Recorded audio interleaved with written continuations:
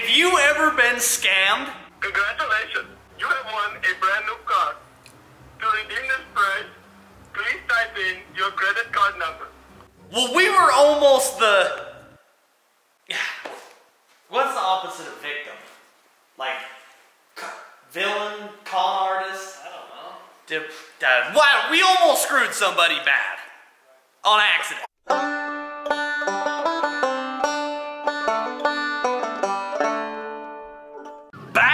Prehistoric times of 1998, Dad bought his very first Jeep. It was a 50th anniversary 1979 Jeep CJ5. But he wanted to get something a little bit bigger to bring us on the trail a little easier. So he sold that Jeep and bought a 1980 Jeep CJ7.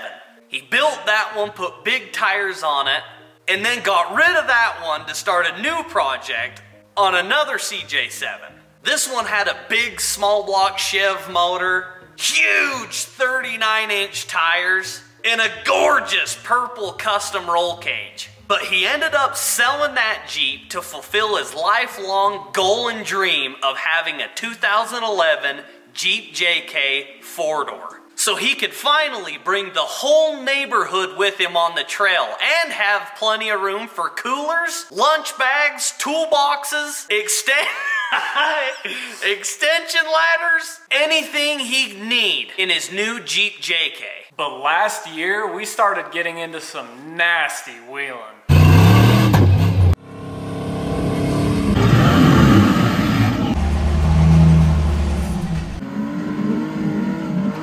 After spending all that time and money, Dad didn't want to be the guy that goes out and wrecks a nice Jeep.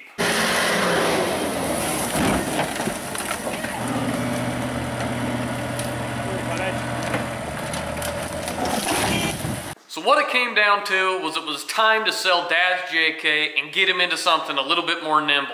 We gotta take two seconds because literally while we're filming this, we looked right outside Brady's garage and saw a freaking river running down the hill behind my dad's new house and it's flooding the basement. So we gotta dig a trench really fast to try and direct the water away from dad's house. So hopefully there's only minimal damage. That's the river that is just literally flowing off of that hill, saturating all of this snow. And it's running through underneath the snow and down into this window. Holy crap.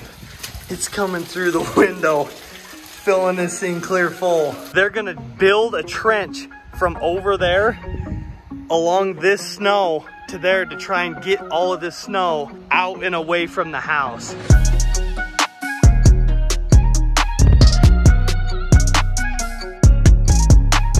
Backhoe kept getting stuck over here, so new plan. Brady's gonna start digging. My dad went to the other side. We're hoping this is gonna work.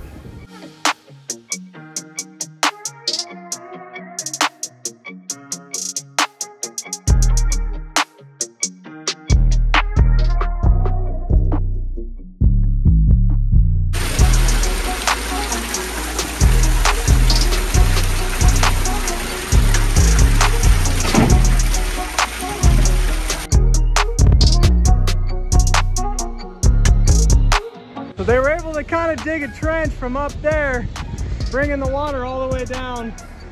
And uh, it's getting deep. They're starting to get stuck, but I think it's working. It's slowing the water down.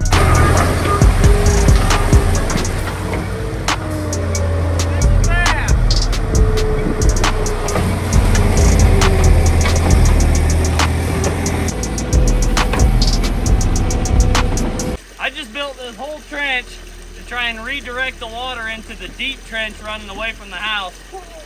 We're right about to break this thing through.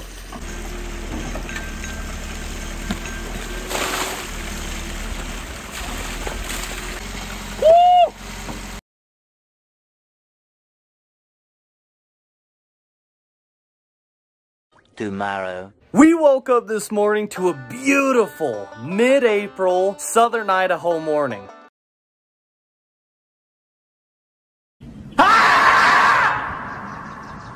I'm about ready to freaking lose it on this weather. It can't decide if it wants to warm up, flood the house, or freeze and give us more snow. We gotta show you guys how much water is in the basement of my dad's house right now. Check this out. Look at all of this water in here. There is a solid, it might swamp my boot. Barely, oh my gosh, then there's another step. There is literally a solid 18 inches of water in this basement. Luckily, our aunts and uncles had uh, the pump, so they came up here, brought it up, and we're gonna start pumping this water out. That thing looks like a full-on industrial grade Dean. This is like full-on fireman hose too. We're gonna put this down by that door where it's the deepest and try and pump this water. You can't even see it because of how much snow, but up over this is the river that flows off of the hill down there. Oh, you can see where the blue line is? That's gonna pump all of that water up and out of there. You ready, Brian? Here it is.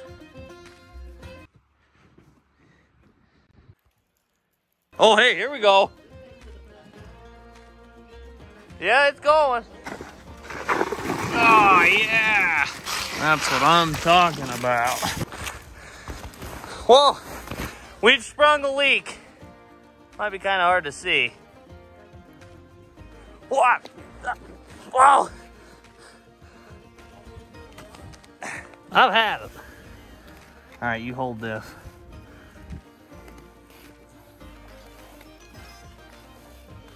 Don't gotta stop it, you just gotta slow it down. Wow, you guys are good with duct tape. Oh, yeah. What do you think our Jeeps are held together with? We're experienced. Wow, look at you guys. All right, Dad, hit it. This is gonna work like a Dane. No, we're good. we're, we're silly. No. It's all right. All right, here, wait. I'm gonna throw some more duct tape on it for the ladies and gentlemen back home. Try to do it tight. I'm trying. A loose duct tape job ain't gonna do you no good. There you go. That- that's There. how a duct tape guy does it. That's what it ought to sound like right there. They teach you how to do that in elementary school. You betcha. Why are we leaking worse now?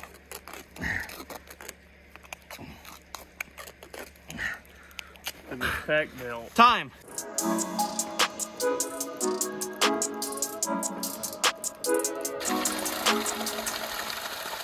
Later. This pump's been going for about two hours, and the water level has come down about two and a half inches.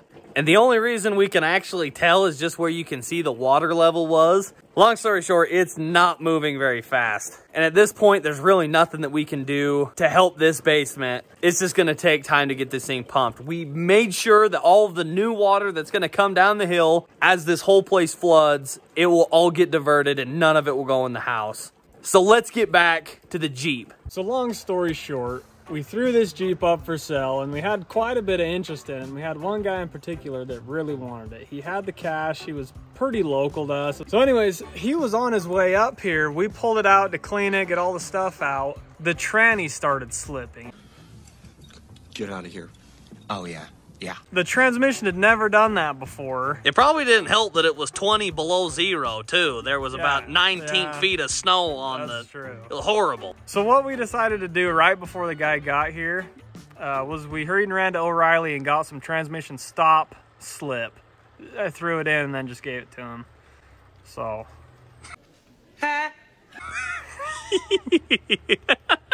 No, that ain't just what happened. That's what somebody would have done to us. What we did was we took the the bigger man approach, big guy, bigger man. We didn't want this guy to end up with a piece of junk. Yeah.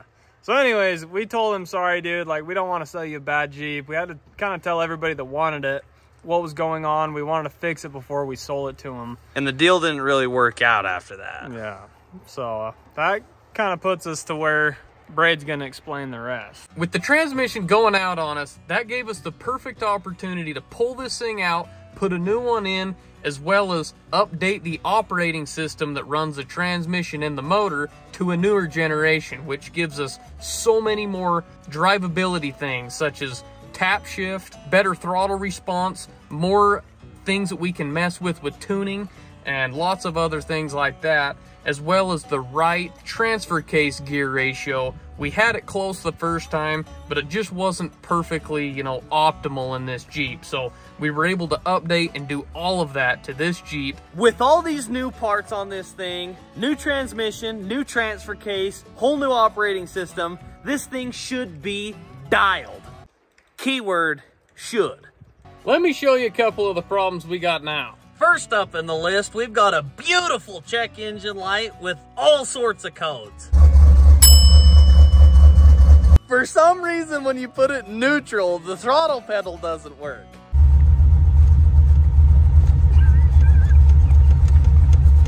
Big toe. And as soon as you put it into gear, it dies. And about 10 seconds after you start it up, it don't matter how hot the motor is, the fans start running faster than Alex when we've got work to do. And to top it all off, it's got a bad random misfire. Before this Jeep started having all these problems, it ran perfect until us three got in the computer and started messing with the throttle percentage and we ended up frying the computer completely. So we've got to take this thing down to somebody who actually knows what they're doing and probably put a new computer in it and get this thing running perfect again before dad knows what's going on. That right there is how we almost accidentally scammed somebody out of 65 grand. If that tranny hadn't have slipped that day, we would have given this Jeep to a guy with a bad transmission and had no idea, and he would have thought that we tried to scam him. And that is not the kind of people we are. Tomorrow. Our shop is almost completely up. Here's a warm welcome to the new Peck Brothers headquarters.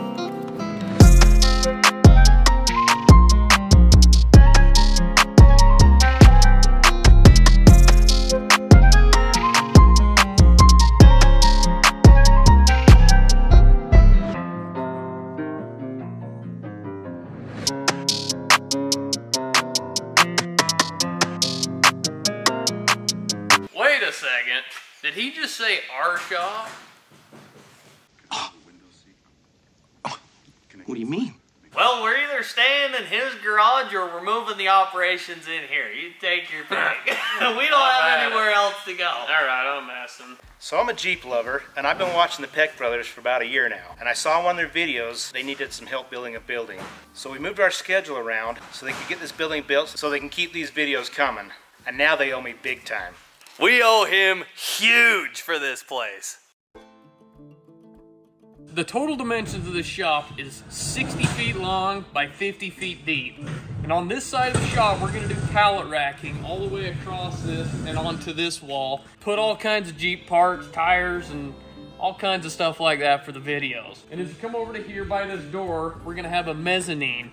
It's gonna come up right here, up some stairs, and go up to a platform where there'll kind of be like a hangout spot. So we can edit, we can film, we can charge our camera equipment, kind of have everything nice. That stays nice up there, nice and clean. Down under the mezzanine, we're gonna have a workspace. We're gonna put sick lights up in the top, and this is where all the toolboxes, workbenches, all of the tools and machines we use to work with metal are gonna be down here. The last probably 10 videos you guys have seen, we've all been shivering. Freezing. Freezing cold. So the best part about this shop is we're putting a big wood burning stove that's gonna have a pipe all the way up and out. And we're gonna be able to get it boiling hot in here. And I'm stoked. We're gonna have sunburns in the middle of winter Oh, because I'm, of this. I'm gonna have it going into summer just because I'm still cold. Because this place is the Peck Brothers headquarters where we're gonna film, we had to be super careful with the lighting in here. The garage doors aren't gonna have windows, the door has blinds, the other doors don't have windows, and the windows are really high so it doesn't overexpose us. That way we're not gonna look like vampires in here because we're so overexposed, and then I gotta spend hours color grading these videos. We're gonna be able to have one preset color grade. Doesn't matter to you guys. but the lighting in here was was a huge deal to make sure it was perfect because this is where all the videos are gonna get filmed. Put two humongous six foot footings under here for a big two post car lift that one day when we can afford, we're gonna put it in here.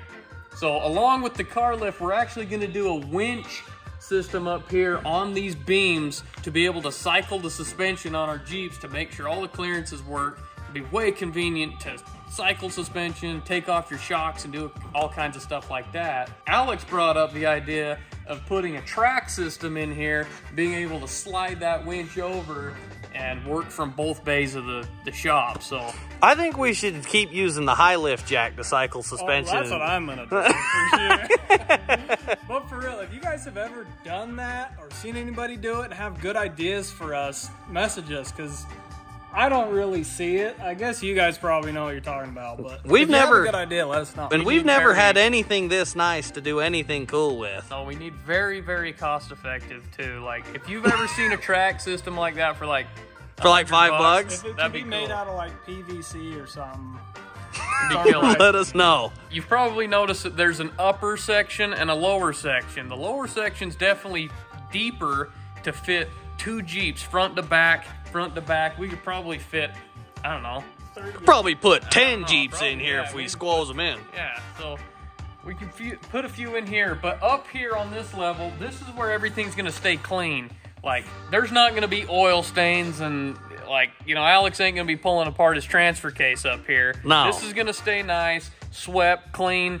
You'll You're able gonna to be eat able to off. eat an enchilada right off the floor up here. Yeah, so that's the plan. That's why there's an upper section because we can just easily distinguish which place gets cleaned up and which place you got a little bit of room to, you know, maybe not vacuum the cracks. This shop has three garage doors, but the two down here are 10 feet tall and 12 feet wide. They're massive and they go straight up instead of curving. So they're gonna be out of the way and it's gonna be awesome. So this garage door over here, we made 14 feet tall, and that was so when we buy another school bus, we can probably put it in here, hopefully, if we don't have to extend the roof.